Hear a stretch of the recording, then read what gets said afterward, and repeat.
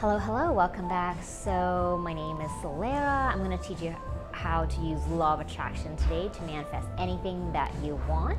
And I'm also the author of the Life Manual Trilogy. You can find me on soleraforhumanity.com. All right, so I'm going to ask the spiritual guides for you in terms of how you can create anything you want through law of attraction. All right?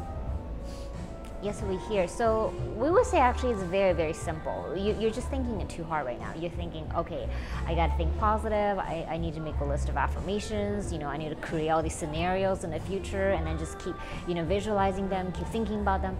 But we say actually law of attraction is sort of like water. You know, it's like whenever you water, you turn on the tap, right, and you drink water. So we want you to have this feeling uh, when it comes to law of attraction, just the same as water. It's like if you go to the ocean, you expect that there's water. If you go to the river, you expect that there's water. We say law of attraction is like water. Anything, anything that you desire, it's like turning on the tap, and, and you're like, okay, there's water.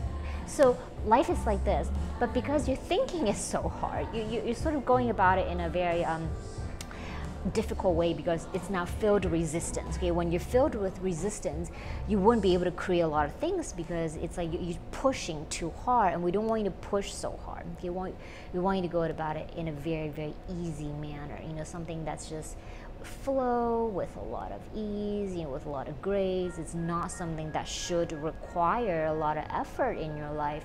So we would go about it in a way that's totally at ease. Okay, so the way we would do it is we think about what it is that we desire and we say, okay, I'm looking for a new romantic partner, I'm looking for a new job, maybe I want to have $10,000 more in my bank account. And I start to think about all these things I really want.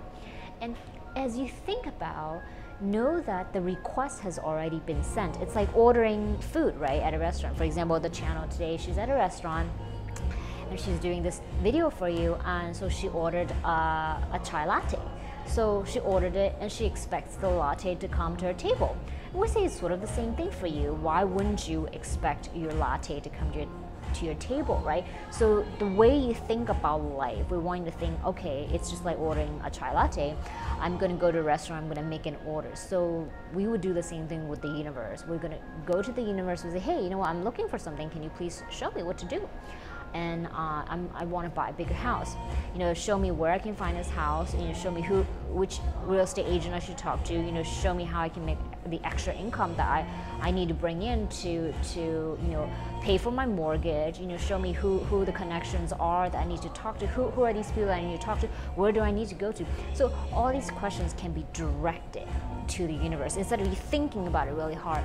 We say when you think about it really hard, you won't be able to do it very well. Does that make sense? Alrighty, we'll see you next time. Okay, guys. Yes, today I'm filming at a new spot. It's kind of a cool, hip um, restaurant slash club in Bangkok. So, anyway, I will look forward to channeling for you next time.